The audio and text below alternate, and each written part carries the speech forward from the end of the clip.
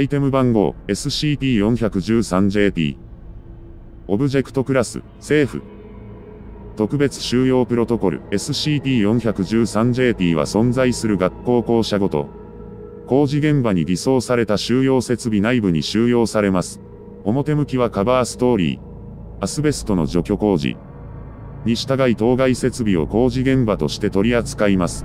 内部に存在する SCP-413JT に民間人が接触しないよう最低2人以上の警備員が割り当てられ、常時監視を行います。説明 SCP-413JT は、県、市、サイト81の小学校校舎内に存在する全12段の階段です。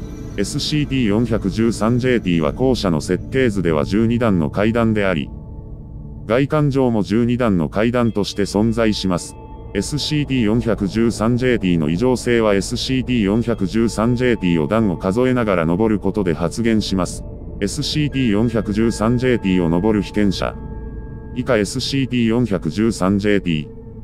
1、発行するクイドリ奇数法が急進法に変化することで13段の階段であると認識します。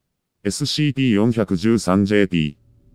1から9という数字の概念が欠損し、SCP-413JT から離れても急進法により思考、計算を行うようになります。SCP-413JT。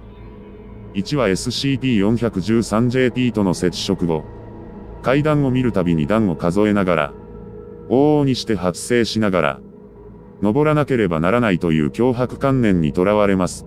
さらに、階段を登るたびにその階段の最終段が13段となるように認識しているクライド力数法が変化します。階段の段数が13段未満であれば対応するクライド力数法に使用しない数字。例えば9進法ならば9という数字が数字であると認識できなくなります。ただし14段以上であれば SCP-413JT の効果は階段自体に作用し、階段が13段となるように作用します。14段以上であれば11や12などの10進法では2桁以上で表現する数字を本来存在しない新たな数字。以下 SCP-413JT。1、A を用いて表現するようになります。SCP-413JT。1、A を音声、あるいは文字によって認識した場合、認識者、以下 SCP-413JT。SCP-413JT。1、A。多数一進法で施行するようになります。SCP-413JT。2は階段に関する脅迫観念は持たず、階段を登ることでクライド力数法が変化することはありません。SCP-413JT。2の症状は B クラス記憶処理を行うことで回復します。SCP-413JT は非キリスト教圏出身者など13という数字に特別な意味を感じない人間には効果を与えません。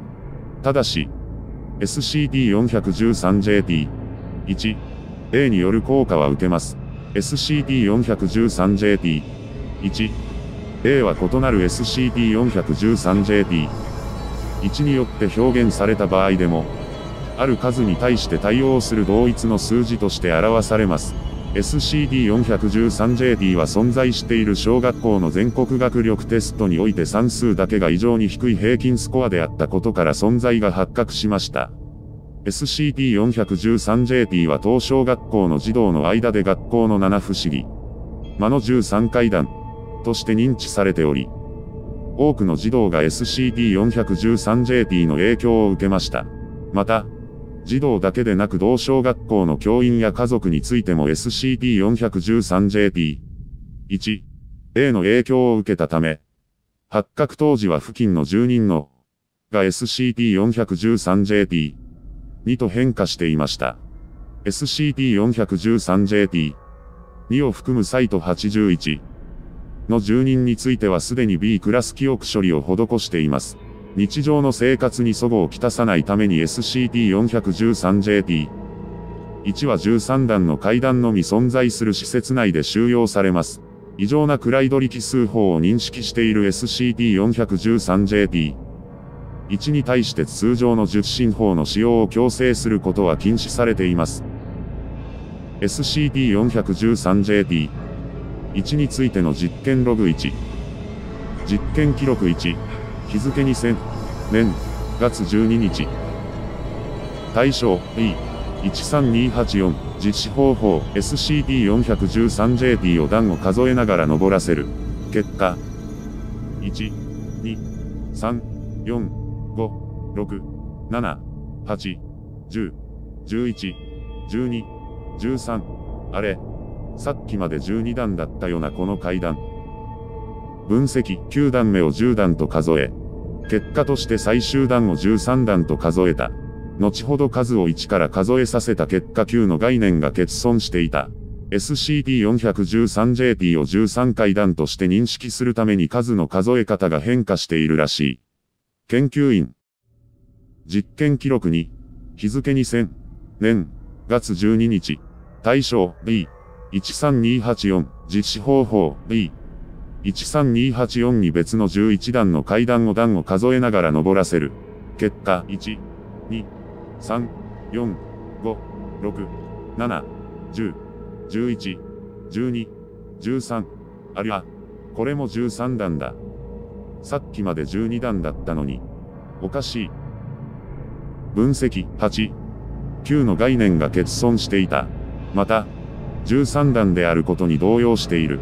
SCP-413JP の効果が他の階段に対しても同じく作用していると考えられる。研究員。実験記録3。日付2000年。月12日。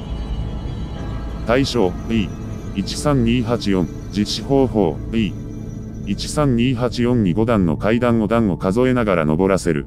結果。1、3、10、11、13。え、おかしいだろさっきまで。あれ何段だっけ分析3が2の代わりに使用されている。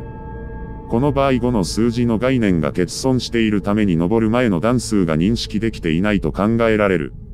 研究員。実験記録4。日付2000年月13日。対象 B13284 実施方法 B 13284に別の14段の階段を段を数えながら登らせる。結果1、2、3、4、5、6、7、8、9、ポム、10、11、12、13。これも13段。頭がおかしくなったのか？分析、数の数え方に異常は見られない。確認したが実際に13段になっていた。用意する階段を間違えたか？研究員。実験記録後、日付2000年月13日。対象。B13284 実施方法。別の18段の階段を段を数えながら登らせる。結果。1、2、3、4、5、6、7、8、9、ポム、ポム、ポム、ポム、ポム、ポム、10、11、12、13。これも13段。どう考えてもおかしい。分析、数の数え方に異常は見られない。確認したが実際に13段になっていた。階段の段数自体に影響を及ぼしているのだろうか。13段未満の挙動と異なるのが気になる。研究員。実験記録6。日付2000年月14日。対象 B13284 研究員。本実験と無関係の。職員実施方法。13を丸の個数で表現させる。結果。B13284 丸丸丸丸丸丸丸丸丸丸丸丸丸丸丸丸丸丸丸研究員。丸丸丸丸丸丸丸丸丸丸丸丸丸丸丸丸丸丸丸職員。丸丸丸丸丸丸丸丸丸丸〇〇〇。分析少ない段数での挙動から類推するに。14段以上の段数については16進法で UA のような数字を認識使用しているとみられる。この数字に認識障害を引き起こす作用があるのだろう。博士。実験記録7日付2000年。月13日。対象。B13284 研究員。本実験と無関係の職員、実施方法、B クラス記憶処理実施53を丸の個数で表現させる。結果、D、13284。〇〇〇〇〇〇〇〇〇〇〇〇〇〇〇〇〇〇〇研究員、まるまるまるまるまる、まるまるまるまるまる、まるまるまる、職員、まるまるまるまるまる、まるまるまるまるまる、まるまるまる。分析、研究員を無駄にせず済んだのはありがたい。足し算するたびに認識障害をまき散らされてはたまらない。博士。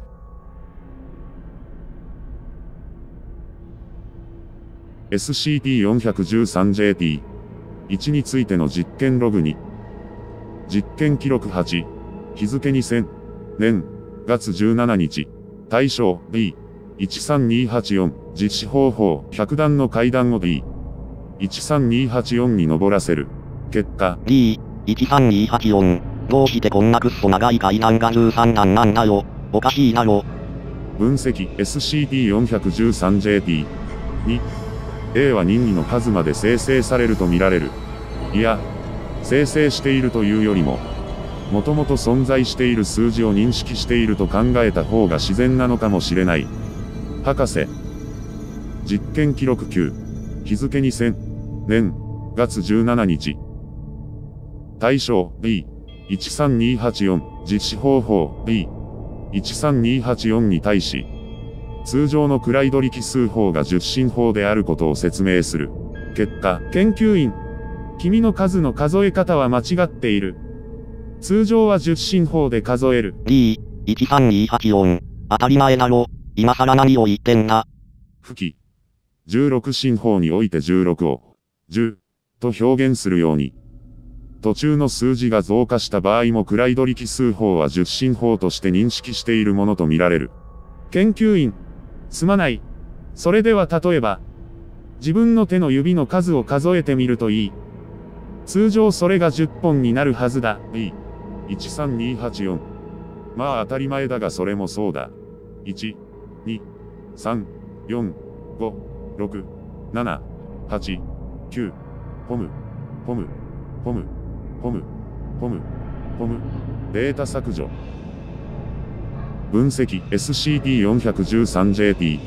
2、A には一種の現実改変能力があるとみられる。SCP-413JT そのものよりも本質的にはこちらが危険であると判断する。博士。